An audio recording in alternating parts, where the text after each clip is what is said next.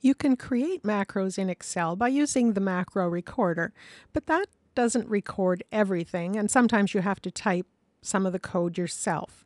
So we would like to show a message to users when they haven't selected a customer name from our drop-down list. So we're going to have to create a bit of code to do that.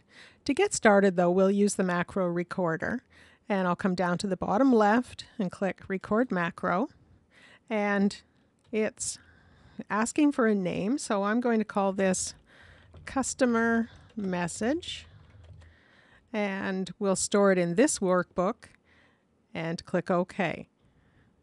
So now we're going to end this. That's all we want to do is create the macro. So I'll come down and click the stop recording button. And now to see what was created, I'm going to the View tab and I'll click Macros.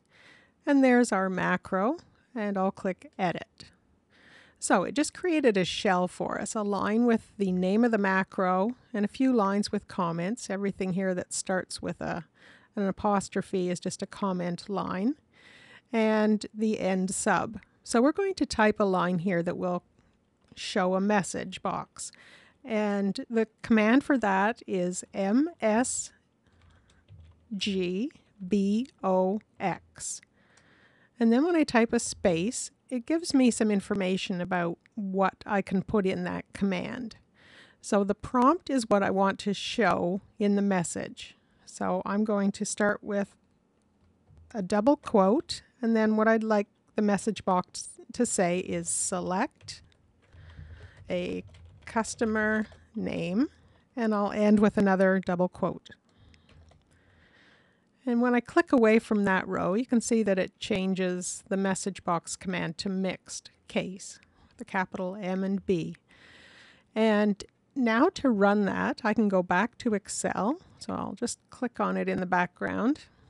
And on the View tab, I'll go to Macros again. And here's our macro. This time I'm going to click Run. And we can see the message box. So it's very plain, just a title bar, plain text, and an OK button. To catch people's eye a bit more, we'll see if we can add an icon over here that will just give a bit more impact to our message box. To get rid of it, I'll click OK, and then I'll click on the VB editor in the background. So here's our line. It's just displaying a message box with text. And I'm going to click at the end of that line of code and type a comma. And now we can see some options here for our message box. We can show a question or change the kind of button. So it could be information or have an exclamation mark on it. We're going to use this option, which is VB critical. So if I double click on that, it goes into the line of code and I'll just click away from it. So now we have the same line just with VB critical at the end. And I'm going to go back to Excel. We'll just click on it and now try running the macro again by clicking on macros, selecting our macro and click run. And now there's the same message again, same text, but now it has a bright red symbol with a, an X in it. So it looks a bit more important when the user sees it. They might take a bit more notice. So I'll click OK to close it. And you can go back into the VB editor and just click Save to save the changes that you've made.